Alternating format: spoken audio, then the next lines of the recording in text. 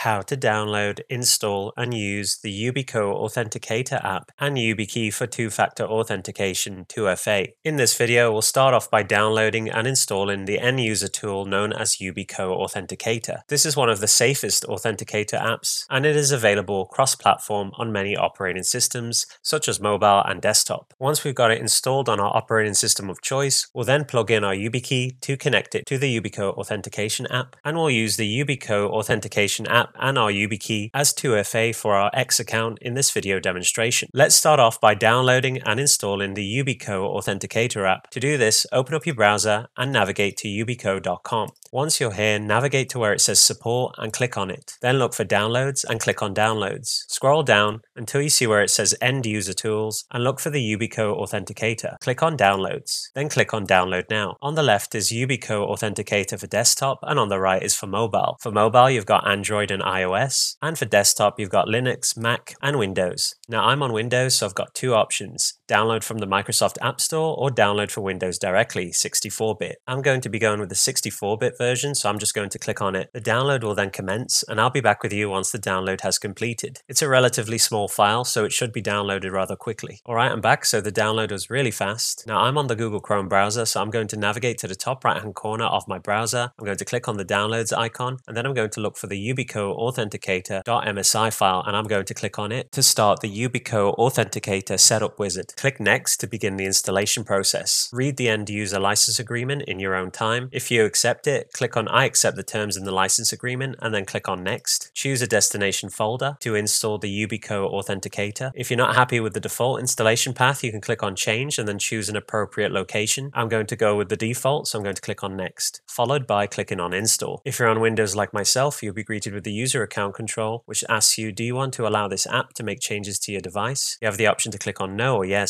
If you want to commence with the installation of Yubico Authenticator, you'll need to click on yes. Once you've done that, the installation has completed. Click on finish. Now on Windows, the Yubico Authenticator app does not open immediately. You'll need to open it yourself. To do this, click on the search box, and then you should be able to see it on the left-hand side. As you can see, it's there, Yubico Authenticator. If you don't, simply search for it in the search box at the top by typing Yubico Authenticator. And there we go, it's right here. You can simply click on it to open it, or you can click on open on the right hand side. And there we go, the application has now opened. I'm just going to click on the maximize symbol here to maximize the window for better viewing. At the top left, you can see no YubiKey is present. That's because I haven't inserted my YubiKey. So we'll need to do that first before we can use the app. So I'm just going to grab my YubiKey and I'm going to insert it into the USB slot. Once done, it'll automatically be detected by the Yubico Authenticator app. If you look at the top left, you can see it's detected my YubiKey 5C NFC. You can see the serial number and the firmware version. You can also see it here in the Home tab. You've got accounts, passkeys, certificates, slots, and on the right, you've got toggle applications, enable disable applications. You can factory reset your YubiKey to its defaults. You can access the Yubico Authenticator application settings to change your application preferences,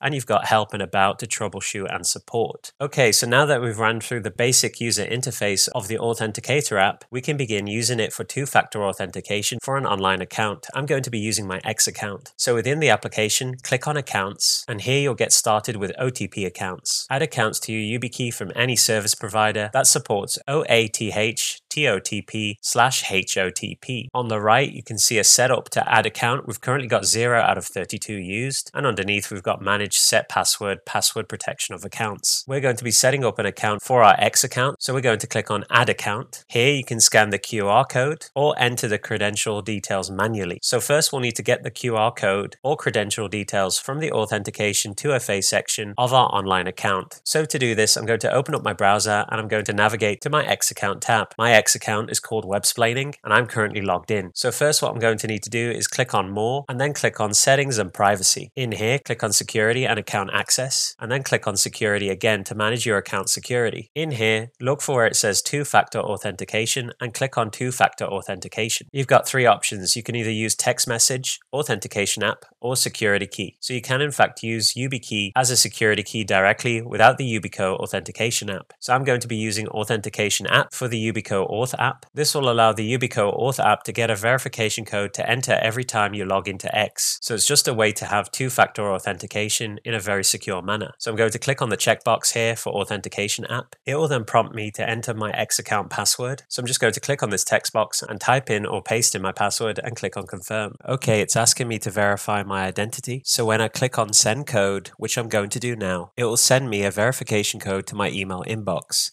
So I'll be back with you when I got that code.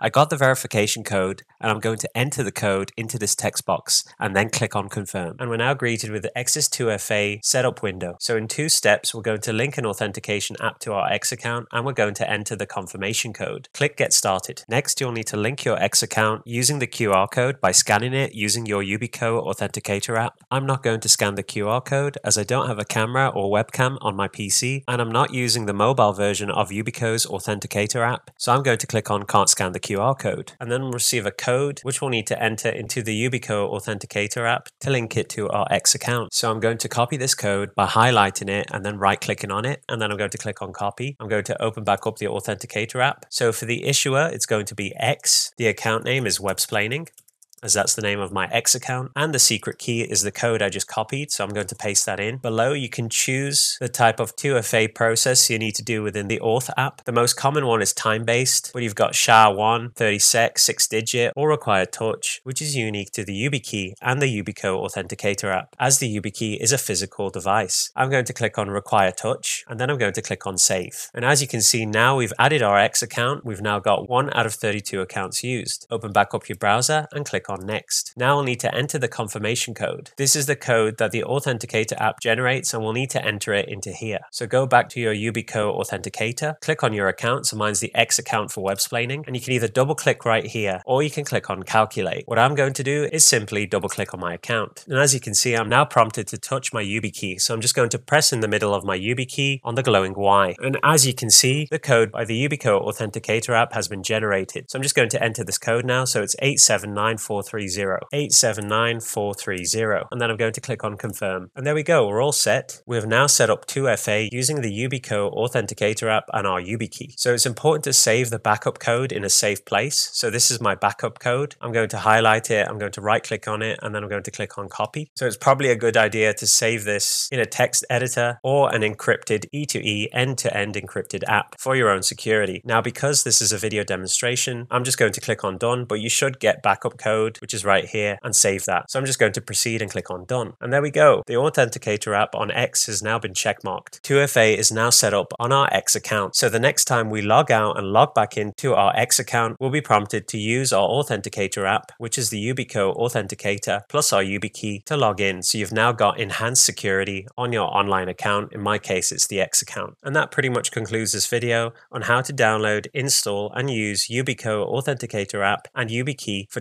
two-factor authentication 2FA. If you enjoyed this video, be sure to give it a like, comment down below, and most importantly of all, subscribe to support the channel. I'll see you on the next video.